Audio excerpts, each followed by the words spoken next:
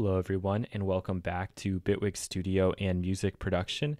This is lesson 5.22, and in this lesson, we're going to specifically take a look at our first oscillator. So, just one oscillator, the first stage here in our signal path, and we're going to be focusing on these three knobs the pitch, the shape, and our octave control.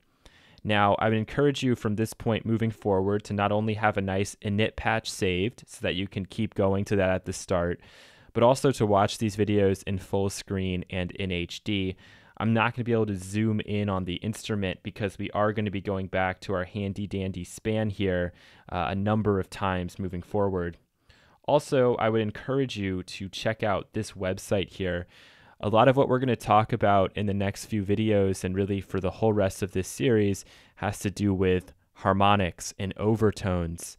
And I talked about that a lot at the beginning of the course. And if you remember some of that stuff, you're going to be making a ton of connections here. But if you've maybe forgotten and you don't want to go back and watch those videos, I encourage you to check this page out uh, from the University of Oregon. I'll link to it in the description. It's a phenomenal resource, and I'd encourage you to look at it every single day until you can pretty much recite everything on here verbatim, because it's going to not only tie together some loose ends that you might be uh, wondering about, but it's also going to um, just be a great resource for you and, and underpin a lot of our concepts here with sound synthesis. Okay, so let's go ahead and get started. So right now our mix is set to 0%, which is aka 100% to oscillator 1.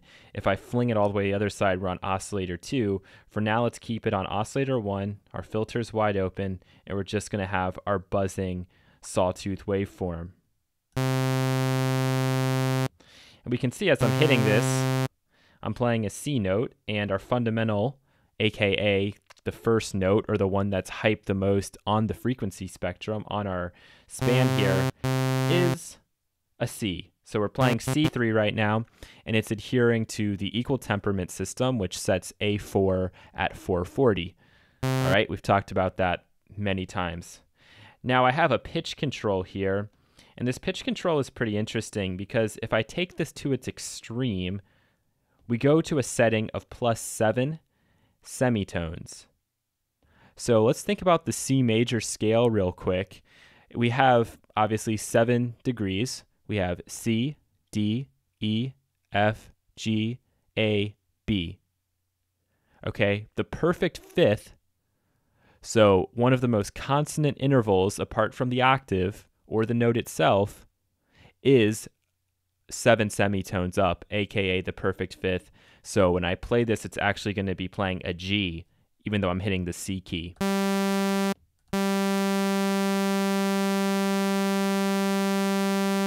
And you can see that here. If I zoomed all the way in, I'd be able to get it perfect, so not plus or minus however many cents.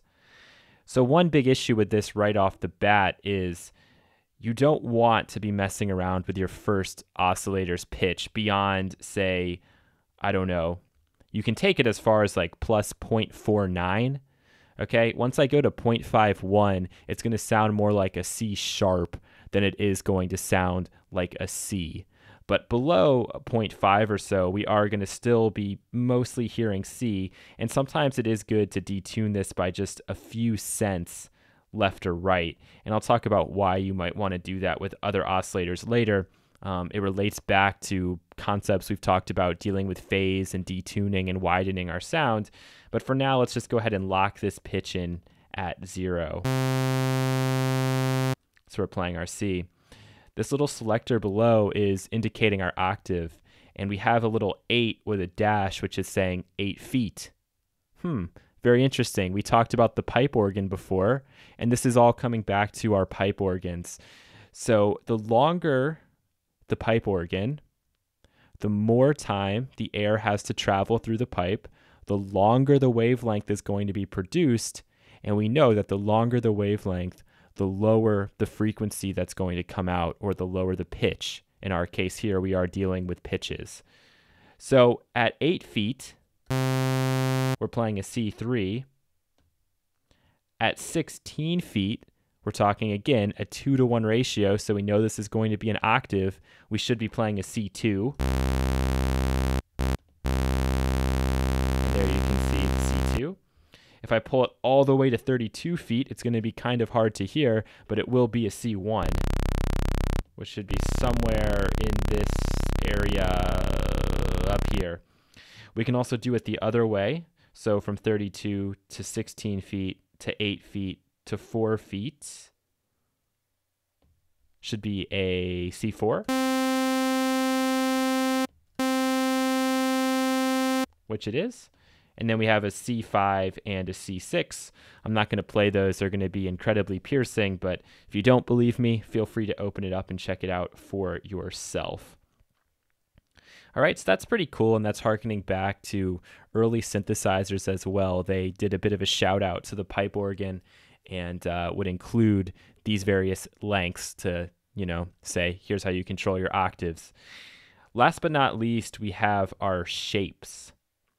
Okay, so this is a pretty interesting knob. Right now, let's focus on the two extremes you can see we have an image here showing what we are doing. Sadly, we don't have an oscilloscope, which I'd love to pull up right now because it's a very helpful teaching tool. Instead, we're going to have to rely on the span for harmonics, and we're going to have to trust that what we see here is accurate, which it is. So right now, we're playing a saw wave. And if we want, we can go into that University of Oregon page and see what they have to say a saw wave is. So the sawtooth wave is every harmonic, both odd and even harmonics. And we've talked about how those harmonics are going to form and where they should be logically.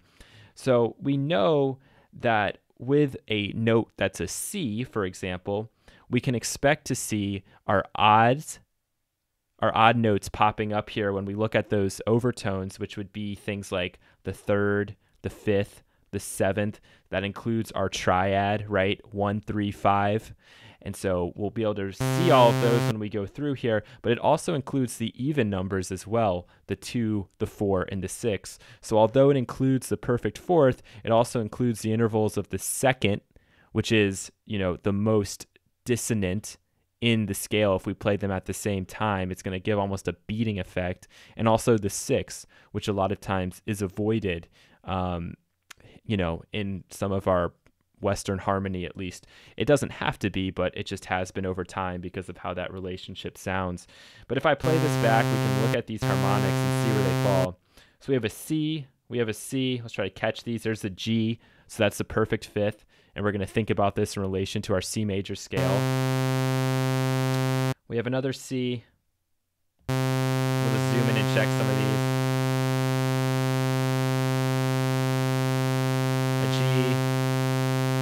An F, an E, a D. So we're seeing all of those. We're seeing the second, we're seeing the fourth, we're seeing both odd and even harmonics. And if we take a look at that diagram, it's going to be very helpful to us. We can see how that's sloping down. So early on, synthesis pioneers realized that the saw wave, because of the fact that as we go up, we have this sharp curve, would introduce all of these harmonics and very natural sounding harmonics as well. They all fit and fall into like the scale we're playing.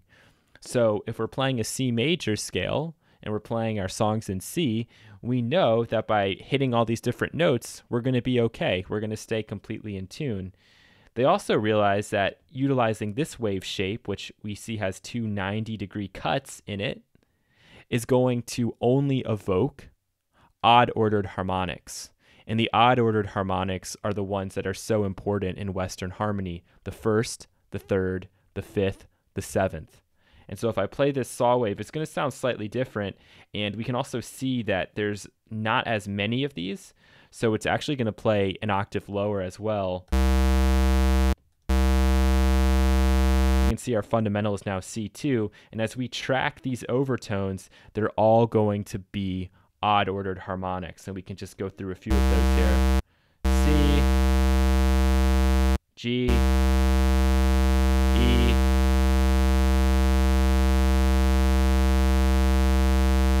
etc., etc., going down the list there. Okay, so if we want, we can take a look at what they have to say about the square wave. And as you can see, odd numbered harmonics, and we can also take a look at how these fall down going on. All right, so what's interesting is we have the first, the third, the fifth, the seventh, and then the ninth. Okay, so what is the ninth? The ninth is actually our second, just an octave up. And in the case of playing music and making chords and the like, it's much more acceptable to play the ninth than it is to play the second because the second is so close and it's going to sound very, very dissonant. If we play the ninth, it's going to be also now not quite as hyped, much lower down. Same with the 11th and the 13th. Okay, so I hope that makes some sense to you. If you have any questions, feel free to ask me. Now in Bitwig, what we have is an ability to morph between these two, and that's what makes this a wavetable. So we have our uh, square wave on one side, we have our saw wave on the other, and we can actually blend between these two. And again, this is working as a percentage. So we can just take a listen and watch how as we start to pull this up and approach saw wave territory, we'll start to see some of these harmonics popping up. So instead of just having odd ordered harmonics, we'll see the even ones creeping in here as well.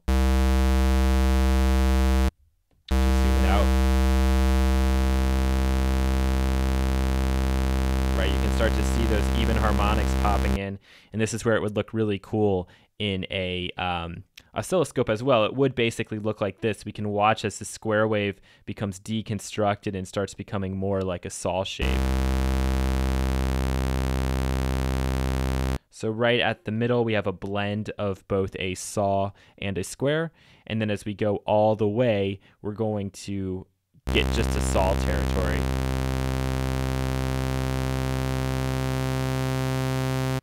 So those um, some of those odd harmonics are going to start to fall away or not be heightened quite as much, which is going to leave room for the even harmonics to come in as well.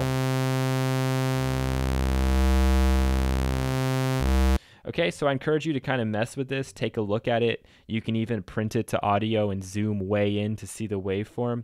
But that's the basis of those three knobs right there. They're very critical. They're important that you understand these relationships and start to understand why early synthesizers only had things like square waves and saw waves because they evoked all of the harmonics that they needed to evoke. And what I'm going to show you really quick is I want to show you something with the most famous wavetable synthesizer of all, and that's Massive. So in Massive, what they do is they provide for you a bunch of different waveforms that are shaped much differently from what we see here. Okay, and all that means is that they're going to be hyping different harmonics, and the relative levels of those is going to depend on the waveform itself. And there's a great website here where they actually go over all of the different wavetables when you are on the farthest left to the furthest right. And I find it kind of cool to look at this because you realize some of them look just completely random. And when they look completely random, they're also going to sound completely random. And one of the reasons why working with just saw waves and uh, square waves is so helpful is we're going to continue that tradition of working um, with very logical harmonics and overtones. And there's other things we can do to hype various parts in the harmonic spectrum, but I just want to show you Massive really quick. I don't use it, but it is a very, very cool synthesizer. And we can open it up here, and we actually see that by default, we have a square and a saw. So right now it's on saw wave. because it makes sense to pull it the other direction. But I can pull it back and get a square wave.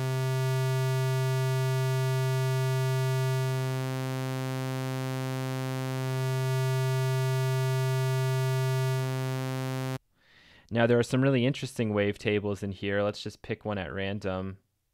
Let's do Dirty Needle. And now let's look at the spectrum. Crazy, right? And we can see what happens as we pull it.